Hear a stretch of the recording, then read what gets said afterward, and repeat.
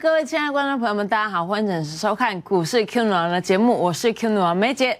那么昨天呢，艾斯摩尔财报，大家都说那个爆炸的爆哦，财报爆炸之后呢，哎，大家都感觉到很紧张、很恐慌啊。那梅姐昨天的节目的标题，我直接就直直接跟大家讲白的啊，就是雷声大雨点小。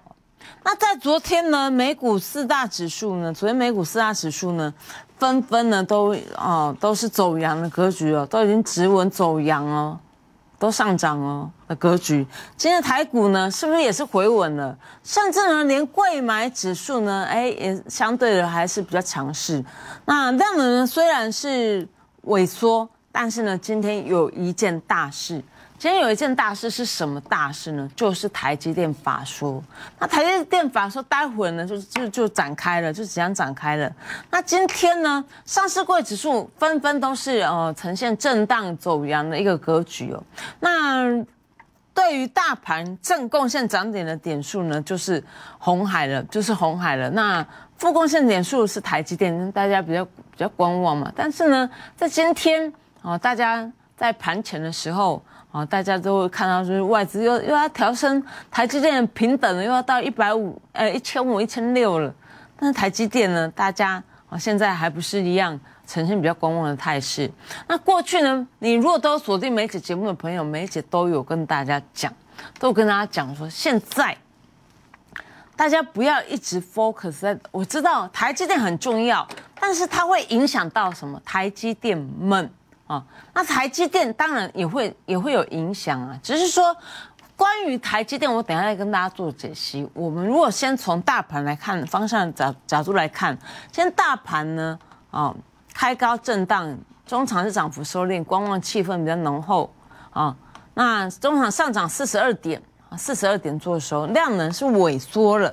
那过去呢，啊，这一波行情我就不再跟大家做解释，但是我今天我要跟大家讲。在这边，我跟大家讲，季线即将翻阳，季线即将翻阳，因为我们如果说看它的扣底的位置，它现在是已经开始往下扣，开始即将要往下扣季线的扣，要扣这个位置了。那季线如果说往下扣这个位置的话呢，它的位它的季线呢就会箭头就会向上，箭季线箭头向上就是会往上扬。往上扬的季线又是生命线，它代表什么意思？代表强烈的支撑啊！所以呢，我要跟大家讲，季线即将翻扬，所以啊，逢回哦，如果有压回，占买方，但是不是胡乱的啊去找那种高本一比啊、超标股啊，大家说人气股、妖股去做买。是去这样买方嘛？那今天呢？大家都在过，大家都在等待这台积电的发书啊。今天就十七号了嘛，对不对？那台积电今天发说，大家都在关心啊。报纸上头头重点新闻也都直接跟你讲说，下好离手哦。明天会怎么动呢？那其实大家关注的重点就是这些啊，就是这些。那我会跟大家讲，我会跟大家讲。其实你看我的侧标，你也知道，唯有领先布局才能抢得先机呀。那过去你如果都是梅姐的哦粉丝哦，你如果是梅姐的爱子家族成员，或者是 YouTube 有订阅订阅的朋友，有一年以上的，你会很清楚啊。过去今天十月十七号，去年的十月十六号，现在台积电是四位数啊。现在台积电四位数啊，今天大家观望它法说修正正常，但是梅姐在这几天节目当中，是不是告诉大家四位数以上的台积电不用追啊？梅姐总是喜欢压回的时候去跟大家大家分享，哦，我喜欢压回的时候跟大家分享是为什么呢？哎，跳楼大拍卖啊，跳楼大拍卖，你你去逛市场，大家不是都这样子讲吗？啊？甚至一些商场卖场也都是跳楼大拍卖，那你拍卖你才能捡到便宜嘛？那追高，这从这边坠下来就是你有风险。我讲简单一点，讲直白一点，就是这个样子啊。那你如果关注梅姐超过一年以上的朋友，在去年的昨天，去年十月十六号，当时台积电股价在五百四十五，连八爷爷啊，八爷爷大家知道是谁吧？哈，八爷爷哎都看不好他，说地缘政治的关系哦，哦，还还是不要买台积电啊。本来买了哦，买了之后呢，哦，大家跟随涨一波，结果呢，他停损出掉，停损出掉，但现在四位数，现在四位数。那梅姐在过去领先跟大家讲的时候是五百四十五块，但是我不是跟大家，我只是举个例子，我不是跟大家讲说我去年买台积电包到现在，我不是这样讲，我不是这样讲，我只是举一个例子，就是说你如果真的要做长线操作，你可以当然做台积电是准没错啊，但是以目前的阶段。四位数以上台积电，我认为是不要急，我认为是不要追啊，不要追啊，不需要去追价。那过去我九月二十六号我节目就是就都跟大家讲过了，波段的买点，我是不是领先跟大家说波段买点？我是在这一天跟大家讲分享的，是不是领先预告？唯有领先布局才能抢得先机。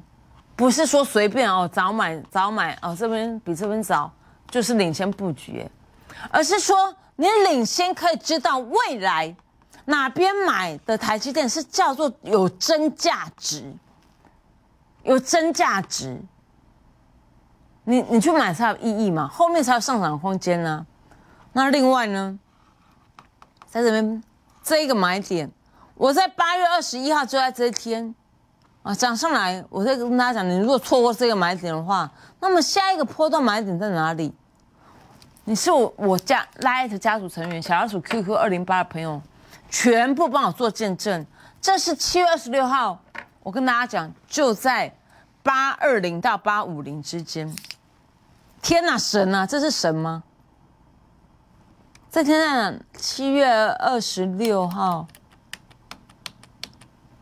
七月二十六号的这一天，当时价格九百二四，我直接预告哦，我直接预告说台积电，你的真正的波段买点就在八二零到八五零之间，是相差将近一百块。那当它真的来的时候，很多人急着想要跑，很多人感到非常害怕。那当弹上去，又在想说要不要追，要不要追？八月二十一号。大家家族成员全面全面做见证了。八月二十一号，在在这一天，我又再度跟大家预告，不用追了，下一个波段买点就在这边，是不是？八月九号跳空缺口，是不是在这位接？你有锁定梅姐的节目的朋友，我每天是不是都跟大家做分享？接下来涨上去，我跟大家说，四位数以上台积电不用追。那虽然呢，今天我不是说看今天压回这样讲，我在这间今天收一零三五嘛，在一零七零的时候，最高来到一零七五的时候，大家在那观察说，哎呀，最近会不会过前高一零八零，会不会在挑战历史新高？哇，大家吵得好轰轰烈烈啊！但是梅姐说，这其次啊，你。好，那就算给你创历史新高一零九零，好不好？你赚五块，你手续费还没回来啊？那反倒是呢，近期盘面上有很多强势的台积电家族，好，大家都称它为台积电们啊。那哪些族群呢？第一个 c o a s 族群，首先，哎，我们可以先看到三三一的红硕，我们从 K 线形态来看。是不是涨翻天？是涨翻天。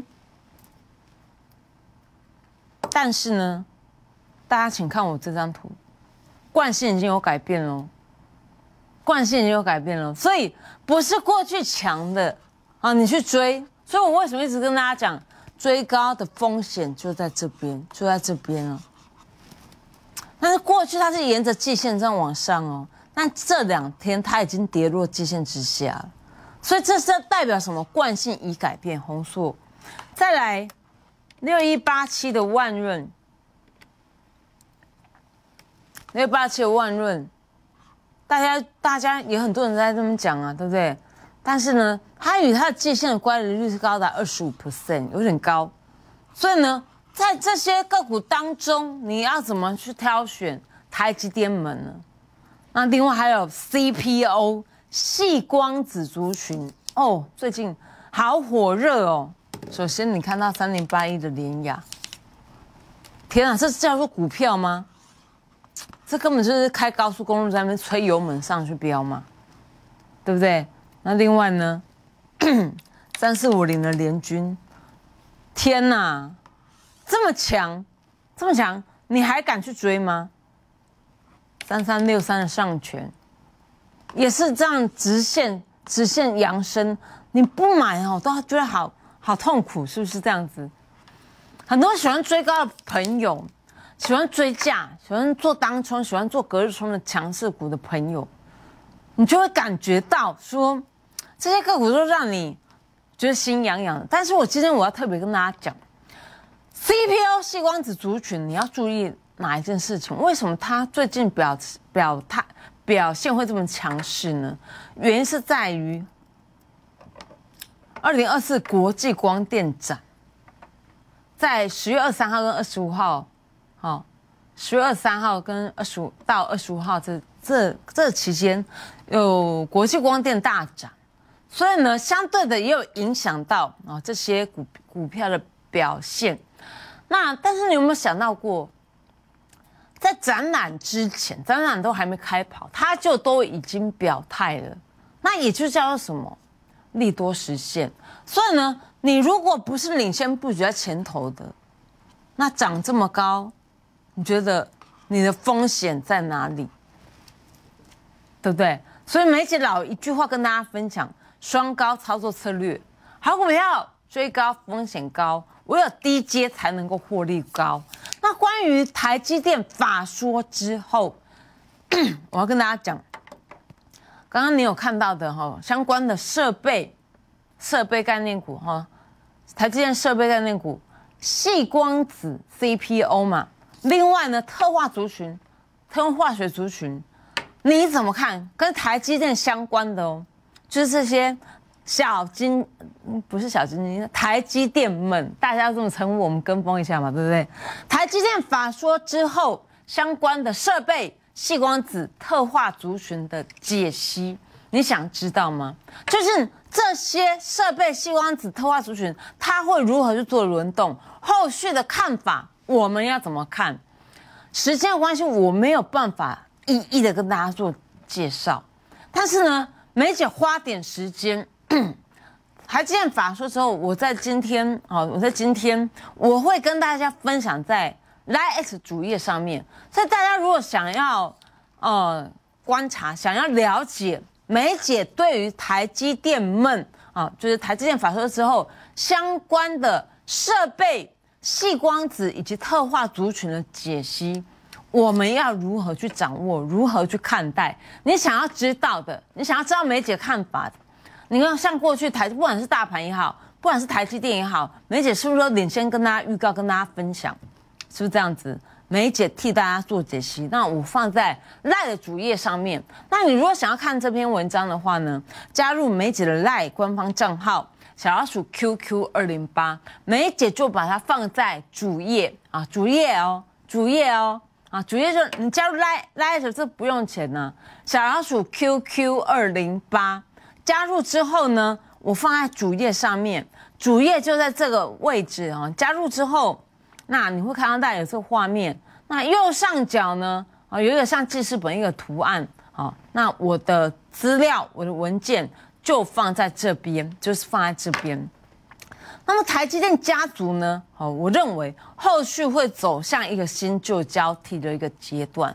我们呢，就广告时间后再跟大家做分享。那目前呢，大家可以利用广告时间，先啊加入梅姐 Light 小老鼠 QQ 二零八，先加进去，先看看这些台积电们。后续的表现，那下阶段我们再来做跟大家做详解。那我们休息一下，进广告带回来。关于台积电法说之后，哈，那相关的设备、细光子以及特化族群的解析，梅姐呢会在今天把它放在 Live 的主页上面，所以大家不用伤脑筋说台积电这个解读是它这个法说之后究竟啊对于设备是好的，啊对细光子是好的，还是特化族群是好的？好，梅姐直接跟大家做解析。好，那我会把文章。放在赖的主页上面，那赖怎么加入呢？小老鼠 QQ 二零八，直接加入官方的赖，这是唯一媒体官方的赖。我放在主页，主页就在这个位置啊，这个位置像记事本一样的地方。那我刚刚跟大家说过，台积电呢的家族哦，会做一个新旧交替，因为为什么呢？因为呢，台积电 的一些你你所知道一些台积电供应链，其实。很多呢都喷涨上去，都都属于位阶都已经感觉在相对高了。那如果以梅姐的习性来看，梅姐不会叫大家去追价。你看过去，你如果是我的老粉们，你会知道梅姐跟大家分享的股票全部都是在修正的时候压回的时候，要不然就是在盘整领先跟大家做分享，全部都是这样子啊。那台积电新旧交替，台积电的供应链呢？我认为会做高低位阶的转换，所以过去啊，在十月九号的时候，我节目是不是就直接公开？今天是十月十七号，哎，在十月九号的时候，我是不是就直接领先的跟大家分享？所以我特别要说，我有领先布局才能抢的先机，就像节目的分享也是一样。通过十月九号，我直接跟大家说。还有没有低位接的台积电供应商？那梅姐盖了盖了一张牌，这张牌叫什么？天生赢家。网络上都在帮梅姐开牌，梅姐知道啊。但是我你如果加入梅姐 Light，我在隔个交易日十月十一号，我直接就已经在 Light 里面开牌了，就是二零四九的上影，就二零四九上影，甚至呢，在十月十四号这礼拜一啊，这礼拜一修正哦，二零四九上影，你看哦，二零四九的上影，礼拜一算是红 K，可是它修正的格局哦。十一号涨了，就礼拜五嘛，十一号涨了八趴，隔天是修正的，但是修正梅姐就就躲开，就说啊，我隔前天就卖掉吗？梅姐不是这种人呐，梅姐不是这种人呐，那。如果你忘记梅姐当天怎么跟大家讲，我们来看一下，我们礼拜我们十月十四号，我们礼拜一怎么跟大家说上瘾的好不好？我们进一下 VCR。我不会因为它今天是修正的，今天跌零点六三趴，我就不讲了。我认为它后续还有高点呢，为什么？它足底足了两年呢。我今天还有录制索马影，我把原因都放在里面。索马影音我也都放在 Light 主页上面，所以你有加入媒体 Light 小老鼠 QQ 二零八的朋友哦，真的是天大的福气啊！很多很多会员专属的资讯，很多公开分享的资讯，我都放在 Light 主页上面，大家都可以继续再去做观赏。那么十月十四号之后呢？隔天是不是又哇又狂喷？今天呢再创破烂新高，但是留一个长上影线，又带了一个什么？巨量，那怎么解读？把节目看完。我昨天节目公是不是公跟大家公开？昨天上影还是压回的哦。我昨天节目跟大家公开说，压回是买点，还有高点。其实为什么？他整理了两，昨天我是这样跟大家讲的，他整理了两年啊，才刚突破，才刚突破。我跟大家讲说，其实它如果一路一直涨哦，它会距离季线乖离、距离月线乖离非常大、非常大。但今天呢，再创这个这一波破烂新高，超级强势的，但是呢，确实感觉好像耳虎头蛇尾一样。虽然中场还是一样是上涨的，虽然中场还是上涨，但是对于这根下上影线，大家会害怕。但是我想要跟大家讲一件事情，什么事情呢？这就要把。这就要把我们轰天雷的画面拉远来看，大家有没有看到？这边是过去哦，这边这有巨量，对不对？然后这边是不是大量的大量的区间？这边巨量大量的区间在这边。那今天呢，它已经大家如果看到这条线，知道它已经越过这大量区间，已经大大量这大量区间的的的这个地方了。所以呢，梅姐认为呢，梅姐认为上影已经站上了这大前坡，我刚刚指给大家看的大量区间。所以呢，它现在带的量还比过去还要高。所以梅姐认为。上影关于二零四九上影这两个股，虽然今天的震荡还有高点，那你想想看哦，上影大家都认为它是做工具机，对不对？那你想想看，好，半导体设备六一八七万润涨幅已经高达五倍，好，那另外呢，黄仁勋他有高呼说 AI 本来就是机器人，机器人你当然就想到的哦，就是。哦，那些飙涨的嘛，然后会涨停的嘛，对不对？那我们看一下八三七四的罗森，好了，这这种这种超标的股票，你认为机器人概念股这些吗？八三七四的罗森，它这一档个股，它是机器人概念股，但是它已经涨七倍了。梅姐不喜欢叫大家追追加，但是呢，你如果看看哦，二零四九的上影，它吸手美系大厂。哦，在工具机电，它也供 AI 机器人，大家一定都知道机器机器手背嘛，报捷嘛，就是有订单嘛，对不对？那你想想看哦，半导体啊，半导体再加上机器人的概念，你刚刚看到的万润涨五倍，哦，那你刚看到的罗森涨七倍，是不是这样子？那上影。啊，二零四九上影才刚刚站上了它大量区间，而且呢，它目前涨幅只有十五趴，你们觉得很委屈？所以梅姐认为还有高点。那梅姐近期的操作，我就不再一一的多说了。除了上影之外，你一定记得二五四三的黄昌啊，你一定记得三六五三的建测，我们掌握多少？你一定记得六八六三永道 KY，我们掌握多少？一档接着一档。那我相信，在这波行情里面呢，我还是跟大家讲一句：任何的压压回好股票就是早买点。那我相信，在股票市场当中，你缺乏的勇气，梅姐给你，还有没有下一档？国泰民安即将表态。那么现在呢，梅姐正式推出荣耀启程的特别计划。那这特别计划，哦。当然有相关的好康在里面。那你想要关注的，欢迎你利用广告时间跟线上助理人员洽询。最后祝大家每天都可以操作顺利，我们明天见，拜拜。